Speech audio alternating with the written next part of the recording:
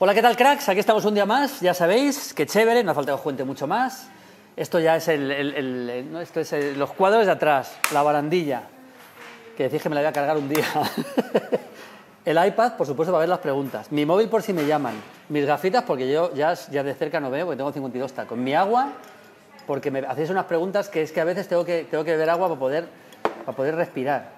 Y, joder, qué, qué- qué tontería he dicho, agua para poder respirar, pero es verdad, porque es para, para- Y luego mi yogur, mi yogur, por cierto, con mi yogur con miel, ¿eh? que es un espectáculo absoluto. Y tenemos muchas preguntas que comentar hoy, así que vamos allá rapidito. rapidito. Adri, cuando llevemos 10 minutos me, avisas, ¿no? Venga. Es que mandéis muchísimas, joder. manda- Vamos a hacer el momento de suscripción, que si no se me olvida siempre. Venga, 10 segundos para suscribirse, que empiezan ya. Voy a aprovechar a ver si me llama alguien. Aquí tengo una... ¿eh? No tengo ninguna... ¿eh? Tengo aquí... Bueno, eh, me he callado, ¿eh? Me he callado casi, casi me he callado. Pero bueno, mientras... En la vida hay que aprovechar el tiempo. O sea, mientras están los 10 segundos y vosotros os vais suscribiendo, yo voy mirando y voy contestando alguna... Por ejemplo, te llamo ahora. Esta es Irene, la chica de, de Betzer, que es una crack. Te llamo ahora. ¿eh? Y, otra chica también, ¿eh? Te llamo ahora. Ahora te contesto. ¿eh? Es bonito, ¿no? Hay que aprovechar el tiempo en la vida, chicos. Venga, vamos allá. Espera, que eh, ahí está. Venga. ¿Qué hace el pe- Así se parte. ¿Qué, hace el- ¿Qué te parece el periodista? Me, dice, me pregunta Carlos GC. ¿Qué te parece el periodista Alberto Edjogo? Un saludo desde Ayora, Valencia, crack. A ver, Alberto Yo me parece buenísimo, me parece un gran comentarista. De hecho, eh, le escucho mucho y me gusta mucho. Es comentarista de gol, es, es colega, le veo mucho por allí. Cuando yo voy allí al- al, eh, a Barcelona a hacer programas de Champions y comentar partidos de Champions, voy mucho por allí, muchas veces le veo. Os voy a contar una anécdota. Yo a Alberto Yogo le conocí en la grada, en Malabo, viendo un partido entre Guinea Ecuatorial y Madagascar, que no es mal sitio para conocer a una persona, por otra parte. Le conocía aquel día, estaba viendo, yo estaba haciendo un, reportaje y él estaba que él, él jugó en la selección de Guinea Ecuatorial, pero ese partido no lo pudo jugar, no sé qué le pasó con el pasaporte, me lo estuvo un poco contando, ganó 2-0 eh, Guinea Ecuatorial, me acuerdo perfectamente de aquello y él si me está viendo se va a acordar seguro. Onión, Maldini, tengo una duda que no me deja dormir. ¿Dónde está la otra mitad del medio ambiente? ¿Vosotros lo entendéis? Yo no lo entiendo, macho. ¿Dónde está la otra mitad del medio ambiente? Me pregunta Onion. No sé qué contestarte, no te entiendo, macho, no te entiendo, tío. De Sony99 dice, soy un gran, de tu gran fan de tu canal y del rugby. Es verdad que hice yo un vídeo, yo tengo un gran archivo de rugby que os enseñé un día. Me encanta el rugby, estoy disfrutando mucho del Mundial, aunque muchos partidos no los puedo ver. Los veré grabados algunos, pero claro, que son por las mañanas, siempre estoy trabajando. ¿Te animarías a hacer un vídeo sobre la Copa del Mundo de Rugby de Japón? Mira, voy a hacer una cosa. Voy a, hacer una comida con el capitán de la selección española de rugby, por ejemplo, y con, Rica- y con eh, Ricardo Sierra, que juega al rugby, que le conocéis, ¿eh? y con Edu, que es el que narra el rugby en Movistar. ¿Os apetece? Venga, lo vamos a hacer. Prometido. Mateo Solano, bonita pregunta esta, hombre. ¿La goleada 4-0 en la final del Euro 2012 a Italia? ¿O el 1-0 en la final del Euro 2008 a Alemania? Saludos desde Colombia. Un abrazo a mis amigos colombianos. Eh, mira, creo que España jugó mejor todavía en la final del 1-0 en el 2008 que en la final del 4-0 del 2012. Sí, de hecho, de hecho si, si repasamos la final, los primeros minutos de la final de Euro 2012, hasta que marca el primer gol España, es un partido bastante parejo. De hecho, Italia le había complicado mucho a España en el primer partido de esa Eurocopa. En cambio, en la final del Euro 2008, aunque en los primeros instantes Alemania tiene una ocasión, España le pega un baño a Alemania, aunque solo le gana 1-0, le pega un baño para mí superior futbolísticamente al 4-0 de la final del Euro 2012 a Italia. De verdad, ¿eh? revisar los dos partidos. Wetox, eres el mejor Maldini, no me pierdo un vídeo tuyo. Muchas gracias, Wetox. Soy seguidor del Arsenal. ¿Qué opinas del tridente Aubameyang, Lacazette y Pepe? ¿Y crees que Unai prefiere jugar sin Ozil debido a su irregularidad? Saludos desde Barcelona. Yo creo que Ozil ya no está para jugar en el Arsenal eh, todos los partidos. Ha demostrado tener mucho talento, pero también mucha irregularidad. Creo que Pepe no está funcionando, no está de momento cuajando, pero es un jugador que me gusta. Y creo que Aubameyang y Lacazette son dos de los mejores jugadores de la Premier. Es decir, yo creo que al Arsenal por lo menos cuarto eh, debería terminar. Ganar, a- eh, digamos que eh, pelear por la liga no, pero cuarto debería terminar. Dice de MR Mario, tú dice, Julio, has mencionado la palabra retirarte y me ha acojonado. Solo me había pasado antes con Messi. Un saludo. a ver, algún día me tendré que retirar, macho. Esto, eh, yo qué sé. A ver, a mí me apasiona lo que hago y me gustaría hacerlo hasta, hasta los noventa y pico años si es que llego, que eso, eso, está por ver, pero habrá un momento en que me tenga, si no que retirar, yo me voy a retirar, del todo nunca me voy a retirar, ya os digo, pues me encanta lo que hago y del todo no me voy a retirar, pero un poquito ya retirarme, un poco ya no tanta actividad, tele, radio, tal, en todos los lados, a lo mejor un poquito bajar el nivel, bajar la intensidad del trabajo, sí, pero dentro de muchos años, no os preocupéis por eso. José, bueno, habrá algunos que estén deseando que me retire, no os preocupéis, me refiero a, a de Mario TV.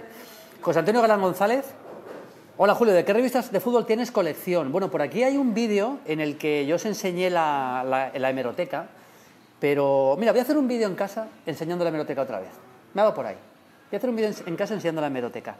Pero así, por, por, em, cuando digo hemeroteca me refiero a eso, a hemeroteca, o sea, revistas, no los vídeos. Eh, va, por ejemplo, eh, el gráfico desde el año 47, que ya os contaré las anécdotas de cómo lo conseguí. Eh, el World Soccer desde el año 60 France Food desde el año 70, todas las colecciones completas.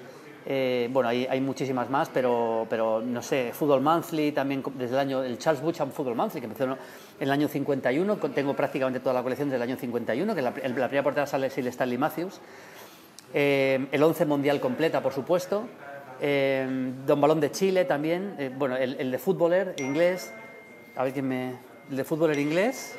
Irene. No, Espera, que, eh, bueno, es igual, luego, luego la contesto, que me llame luego. Si me llama ahora, eh, bueno, pues eh, muchas más.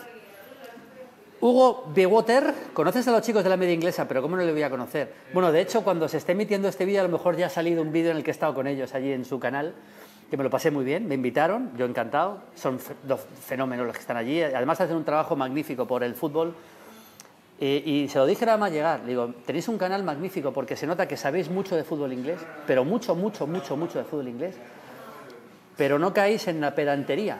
Quiero decir, no, no, eh, lo tratan con cierto humor y eh, una cosa, o sea, tú puedes tratar algo con humor, pero que te des cuenta que sabes mucho sobre eso. Eso es lo que les pasa a los de la media inglesa, es que son perfectos bueno, eh, Mario Román me dice que si me gustaría ir invitado a la Resistencia. Eh, me imagino que cuando salga este vídeo ya lo habréis visto todos, eh, que estuve en la Resistencia con Broncano, me lo pasé de maravilla y fue la verdad una experiencia magnífica, magnífica, magnífica. A ver, Marcos Esquivel me dice, me encantaría que me apoyaran mi pregunta porque siempre pienso en ella. La voy a resumir un poquito, pero la podéis leer entera y la, la tenéis, que Adri os la está colocando.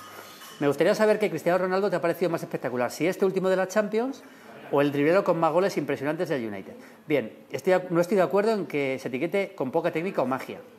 A ver, el que diga que Cristiano Ronaldo no tiene técnica, para mí se equivoca. Cristiano Ronaldo tiene una, técnica exquisita, por ejemplo, para pegarle a la pelota.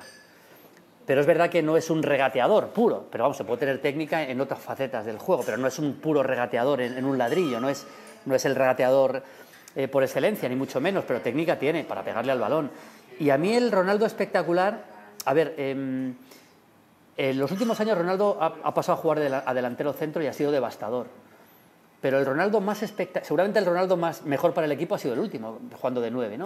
Pero el Ronaldo más espectacular para verle jugar, para mí era el Ronaldo que arrancaba, hablo de Cristiano, ¿eh? por supuesto, estoy hablando de Cristiano Ronaldo, el que arrancaba desde, desde atrás. El primer Ronaldo, que era más, más extremo, digamos, o segundo punta, pero arrancando desde un costado, con esa potencia que tenía para llegar, me parecía más espectacular que el Ronaldo actual, pero seguramente el Ronaldo actual, jugando de delantero centro, es mejor para su equipo que aquel. Creo que me he explicado, ¿no? Lo más raro que me ha pasado comentando un partido de fútbol, me pregunta Manuel Muñoz. Joder, me han pasado cosas. Mira, cuando empezábamos en la Liga Italiana en el año 90-91, que no teníamos, teníamos las alineaciones llamando a los estadios porque no había internet, nos cambiaron un partido de repente. De repente nos cambiaron la señal del partido en minuto 10 y nos pusieron otro partido. No teníamos ni alineaciones, no sabíamos ni cómo iba el partido. No está mal salir de esa, ¿eh? No está mal. Eh, 811, ¿crees que Son Heung-min es el mejor jugador asiático de la historia? ¿Crees que Kubo podría llegar a serlo? A ver, Kubo tiene un recorrido todavía, toda su carrera por delante. ¿Por qué no? Ya veremos. Pero me parece difícil. Pero lo que sí es verdad es que Son Heung-min yo creo que ya puede ser considerado el mejor. Quizá junto con Park Ji-sung. Yo creo que esos dos. Park ganó mucho con el Manchester United. ¿eh? Y, y Son Heung-min ha jugado una final de Champions ha sido. Yo creo que puede ser Son, ¿eh? por nivel puede ser Son. ¿Qué piensas de las parodias que te hacían en Cracovia? Bueno, dice que pensás, porque es argentino, que saludos desde Argentina. Aprovecho para recomendaros, por cierto, una serie argentina que me entusiasma, que se llama El Marginal, una serie de, de, una cárcel, de la cárcel de San Onofre. Se están escuchando mucho, el, Adri, un poquito, pero bueno, esto es una cafetería, ¿qué vamos a hacer?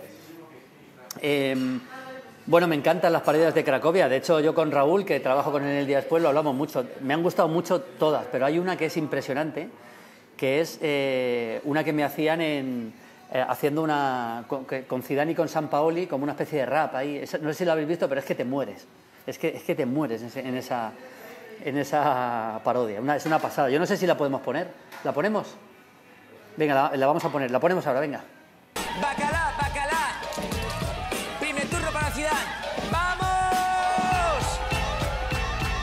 Paoli, últimamente te encuentras a la sopa. El otro día, por ejemplo, os echamos de la copa. Hoy fue otro partido que remontamos. Así la Supercopa y con gol de Sergio. Turno para San Paoli. Madrid enamora a hombres y mujeres. Mérito del entrenador, Florentino Pérez. Hablando de Ramos, yo tengo una duda. ¿Ya sabe cuál es su portería o necesita ayuda? Si le da vergüenza, pues yo se lo pregunto. Y le doy la gracia por dejarnos a un solo punto.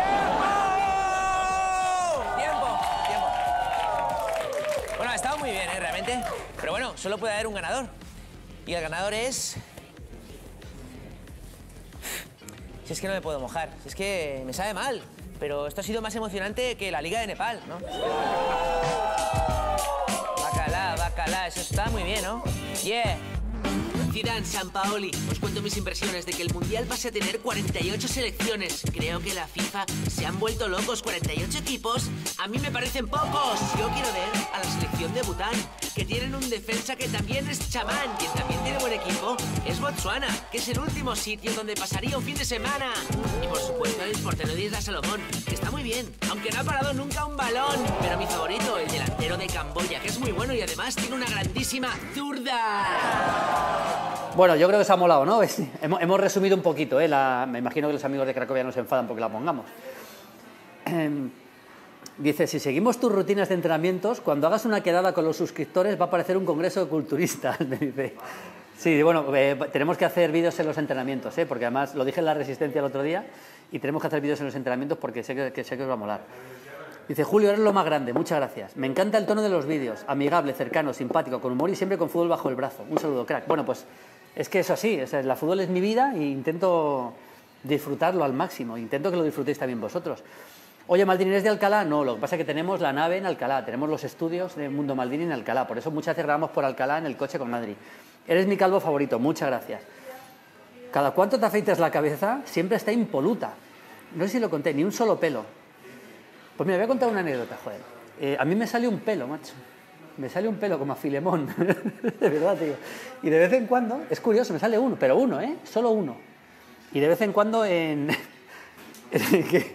en las... las eh, no sé por qué sale solo un pelo, tío. Habrá algún, estudio, pero aquí arriba, ¿eh? Y de vez en cuando las, eh, las, las maquilladoras me dicen, te quito el pelo y entonces cogen una pincita ahí en el, en el, plug, cuando me maquillan la calva, lógicamente me maquillan todo, y cogen la pincita y hacen tic y me quitan el pelo, macho. El pelo, no el pelo. Habrá que preguntar por qué es posible eso, pero es así, joder. Bueno, que cada cuánto me afeito la cabeza, me la afeito cada tres días más o menos. Calver 100, ¿alguna vez has visto voleibol? ¿Y qué te parece si es así? Eh, sí, he visto voleibol. No me gusta mucho el voleibol, pero, pero fíjate, nosotros hicimos en los Juegos de Atlanta el voleibol y recuerdo que fue comentarista nuestro Rafa Pascual, que seguramente es el mejor jugador español de la historia de voleibol.